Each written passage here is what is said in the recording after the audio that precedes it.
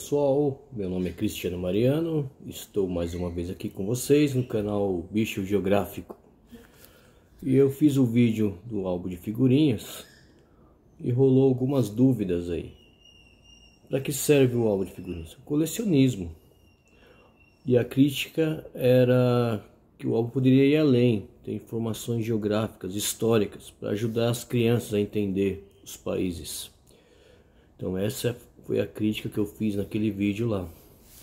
Então o álbum tá aqui, ó, Copa do Mundo 2022.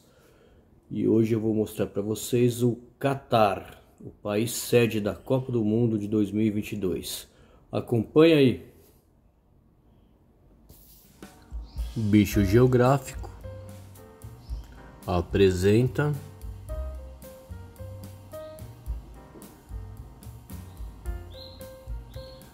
a sede oficial da Copa do Mundo, Catar. É um país árabe que ocupa uma península, faz fronteira com a Arábia Saudita e o Bahrein. Dá uma olhada no mapa. Você vê que a cidade principal é Doha. O Catar é um emirado absolutista e hereditário Temos a bandeira do Catar, comandado pela Casa de Tani. Foi um protetorado, britânico até ganhar a independência em 1971. Desde então, tornou-se um dos estados mais ricos da região, do mundo, né? Cidades maravilhosas Uma arquitetura impressionante.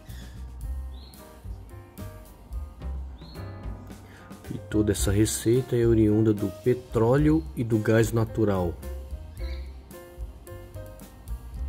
Com a população estimada em 2,8 milhões de habitantes, apenas 313 mil são nativos. A maioria são estrangeiros.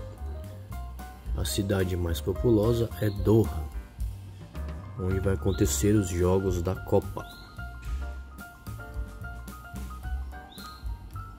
Com mais de 790 mil habitantes. Ela impressiona com sua arquitetura. O Islã sunita é a religião predominante e oficial do Catar.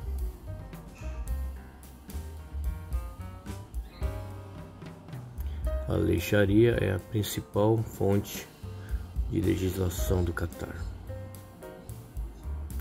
Agradecimento aos membros e inscritos. E se você não é inscrito, nos ajude. Vamos crescer juntos. Muito obrigado, pessoal. E valeu!